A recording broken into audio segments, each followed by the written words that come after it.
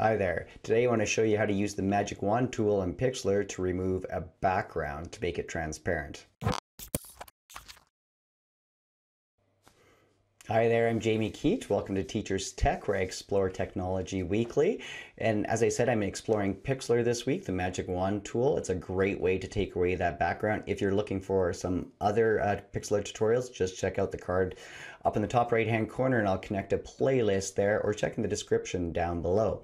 Uh, so with uh, transparent backgrounds, I'm just going to give an example with, I'm on a Google Slides and let's say this robot here has the white background and this uh, tower has the sky background and I want to remove them.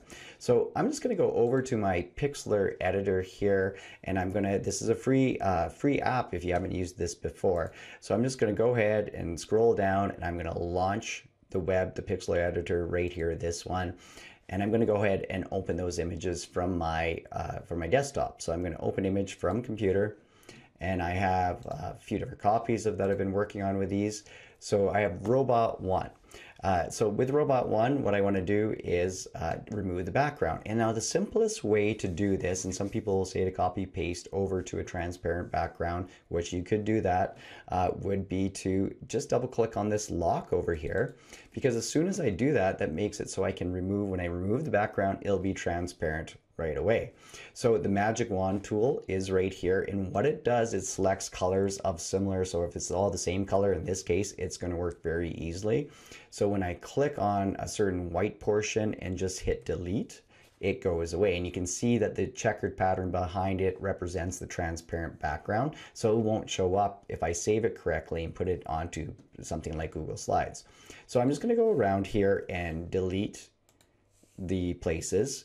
Uh, the reason it doesn't go all the way around because the robot touches the edges and it stops the magic wand from moving uh, outside of those areas. And I'm just delete and in between the legs here.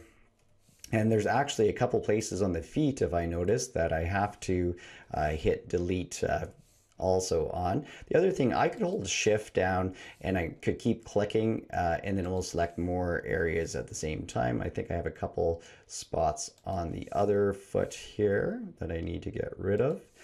I could zoom up on different parts if you need to get closer and more detailed. Sometimes just zooming up will work too. So I'm just going to go ahead and resave this again. File, save.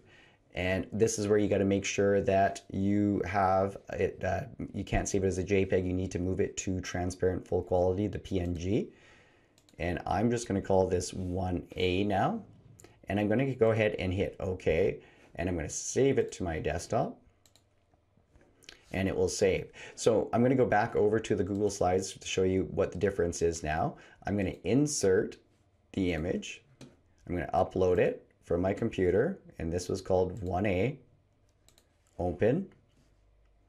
And as it uh, goes in, you'll see now it has no background anymore. So that way I don't have to have that white square around it and it looks a lot better that way. So now with this tower image it's a little different. It has a background with the sky that's not completely the same color. So I'm going to go over here and uh, I'm just going to close the robot down since I'm done with that one right now and I'm going to open up from my computer the tower here that I have.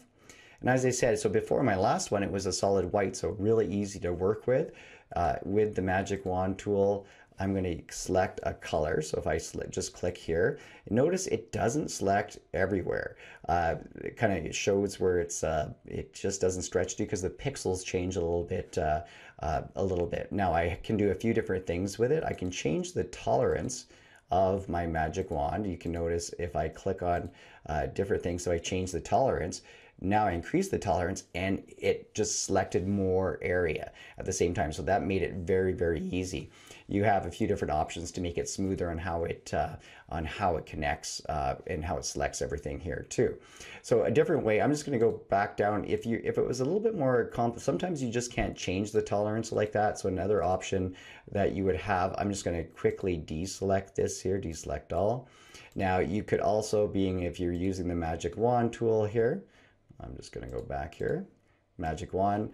Um, you can also hold the Shift key and keep clicking in a certain area, uh, but uh, in that way will work too. So you can hold down the Shift and it will grow as you go through. But for a picture like this, the tolerance works well to uh, to to go ahead and use it that way. I'm just going to deselect again and then I'll have it all when I raise my tolerance because there is the contrast there to so now I've adjusted it too much the contrast and look what happened. It's actually grabbing part of this. So again going back to this one and I'm going to bring this down to about here. I'm going to deselect it one more time. And now when I click on it you, I, you can see I have a nice it's nice and clean. The other thing I haven't done yet is double clicked over here.